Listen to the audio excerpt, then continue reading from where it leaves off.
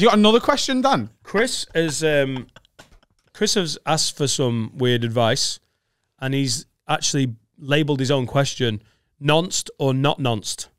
Uh, that is the question. He says, Chris says, I was talking to my missus the other day and the subject came up about ex partners, etc. Not exactly the greatest conversation to have, but hey ho.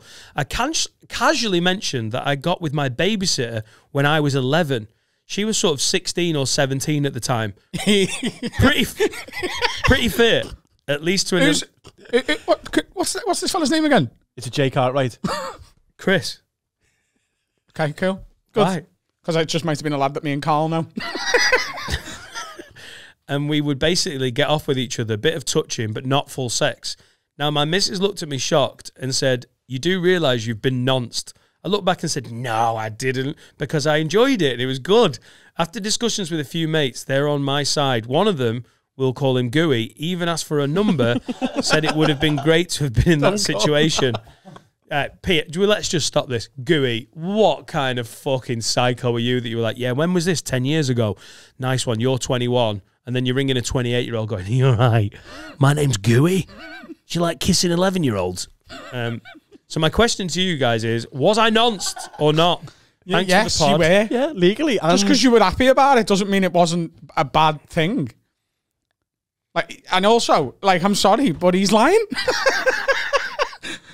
It's Jake What? Cartwright. Isn't He, it? this is such a Oh. classic thing for a 21 year old to rise into his. I don't know. I'm not. I'm not. I don't know if he's 21. I just guessed. Like he's oh yeah, when I was eleven, I fucked the babies. that? It's possible. It, it's just such a classic lad lie.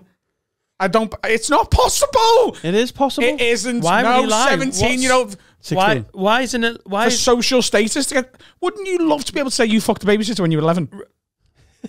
no, I'd die for I, that. I get, I get, I get the thought, but why, as an adult, are you talking to your girlfriend and just honestly going, "Oh 'Cause yeah, he's when I letting her was- know he's got options. what, what, what, as a time traveling eleven year old? I don't see where the brag is. There's no brag. Like, I think he's He's like, I've been fucking since day dot love. So fucking watch yourself. right. They didn't fuck. They just snogged. Oh. That's. I think It was happened then. explained in the thing. I love it how you two cunts can't listen. You're like, he's he's definitely like what? I don't see where the li- why it's a lie. I, I just I, I think it's my natural instinct is to call bullshit on that because it's I th- there's We know somebody who. who has said stuff like this. Yeah, once but when came back when he it- was eleven. no, but he's always been like this. No, It- but I mean, I get it. If you're 11 and you're making the, if you're doing the lie, but I just feel like this is an honest adult sort of like. Yeah, that probably is with the kiss. It's probably true. I think he was like, Go to on, his what happened to you, mate? Oh my god! he god. disappeared on a night out once and come back and told her he just fingered a girl on the dance floor, but he put a Johnny on his fingers. In meat, the old night. Is it called Gooey?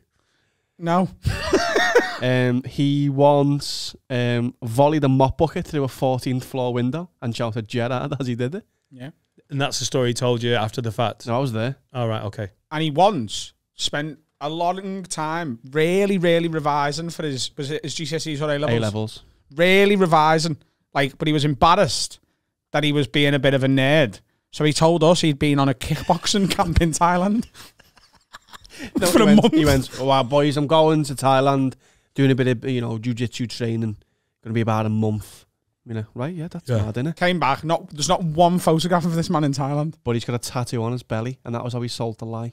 Yeah. Right. A praying hands tattooed on his belly. He was like, I got that in Thailand, lads. Right. But he'd just been revising his A levels for two weeks. What an amazing fucking bullshitter. He's a fantastic friend to just have around. He For, once kicked a woman up the ass, a girl, because we were in a nightclub, um, to flirt with her. And when she was like, What are you doing? He went, Lesbian. Right. It doesn't sound that fantastic. Um, yeah. So, is he just a bullshitter, or is Yeah. he, or is he just a nutcase? He's both. Your mate. I'll tell you what. Here's here's the thing, right? He's either a bullshitter or he went to Thailand for a month to do a kickboxing camp and never took a single. Oh no, photograph. no, no. Yeah, sorry. Yeah, that's definitely bullshit. both. Right. Uh, going back to Chris, just in case you aren't lying, I don't really see why you would. You definitely got nonced. Yeah, you did get nonsense. That's a hundred percent nonsense. and you liked it. And I reckon if I if I was in his situation, I'd tell that story fondly. I think. But that doesn't mean it's not wrong. oh, it's definitely wrong. Yeah. It's awful. Awful. Awful 11 years old. Yeah. 11. It's disgusting. It's a baby. Because if it was the other way around, Yeah. you would like. This is the the beautiful contradiction of being a lad in it. Yeah. It's because it's an 11 year old lad and a 16, 17 year old girl. Everyone's like, bloody hell, that's bad. Players gonna play. Fucking wish it was me though. nice, Yeah, but nice. she's a. but if it was the other way around, you'd, you'd want to string them up. Yeah. So, but we've Awful. we've called bullshit on you, mate. Sorry.